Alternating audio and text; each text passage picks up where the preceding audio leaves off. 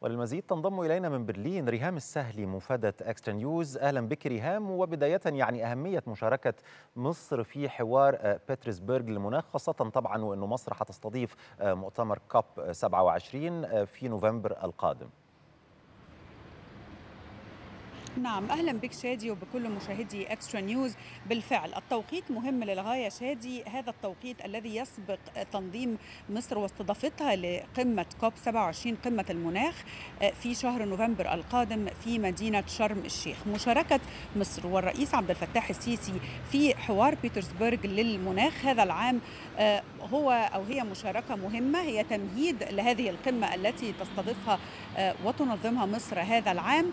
و يعني سيكون هناك كلمة مهمة للسيد الرئيس غدا يعرض فيها رؤية مصر و و و وأفكار مصر وخططها من أجل التعامل مع التغيرات المناخية وتأثير ذلك على دول العالم. فالتوقيت مهم للغاية وكما أعلن بيان رئاسة الجمهورية مصر ستكون يعني غدا لديها رئاسة مشتركة لهذا الحوار طبعا بالإضافة أو بجانب ألمانيا بسبب زي ما كنا بنقول حالا انه مصر مستضيفة القمة القادمة في مدينة شرم الشيخ، التوقيت هام للغاية مش بس لأنه مصر بتستضيف القمة ولكن أيضا لأن الوقت الآن يعني في هذا الوقت هناك تحديات كبيرة يعني الظروف التي يعيشها العالم الآن والعملية العسكرية في تحديات كبيرة بتواجه عدد من دول العالم وقضية المناخ يجب أن تكون يعني تحت خلينا نقول تكون في دائرة اهتمام رؤساء وقادة العالم اللي كثير منهم ممثلين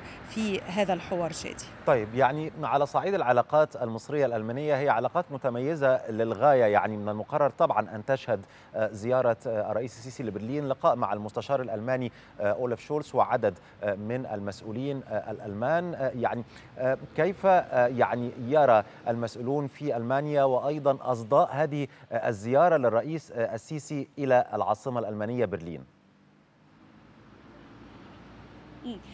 أصداء الزيارة بالتأكيد يعني هناك اهتمام بالغ من الحكومة الألمانية بزيارة ومشاركة الرئيس السيسي في هذا الحوار. أيضا هناك اهتمام أيضا يعني في الصحف في الإعلام بزيارة الرئيس عبد الفتاح السيسي ومشاركته في هذا الحوار. زي ما كنت بتقول العلاقات المصرية الألمانية علاقات يعني طويلة ممتدة علاقات فيها كثير من التعاون الكثير من التقارب في وجهات نظر في عدد من الأمور مصر وألمانيا. كل منهما هي دولة مهمة في محيطها الإقليمي وفي المحيط الدول المحيطة بها. إن كانت مصر فهي طبعا مفتاح الشرق هي قلب المنطقة. وهي أيضا مفتاح الأمن والاستقرار في منطقة الشرق الأوسط وإفريقيا. أما بالنسبة لألمانيا فهي أيضا في قلب أوروبا تربط الشرق بالغرب الشمال بالجنوب في أوروبا.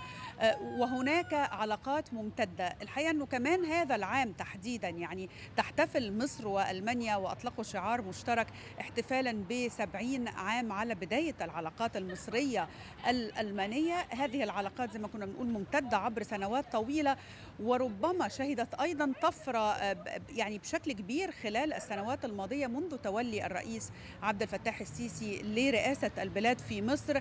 هذه هي بالمناسبة الزيارة السابعة للرئيس السيسي لألمانيا منذ توليه الرئاسة وهي الزيارة الأولى له منذ تشكيل الحكومة الجديدة. علاقات قوية متينة توافق في وجهات نظر في كثير من الأمور مثل محاربة الإرهاب مثل الأوضاع في في في الإقليم في الشرق الأوسط أمور مثل ليبيا تم بالتأكيد التوافق في كثير من وجهات النظر الخاصة بها قضية الشرق الأوسط.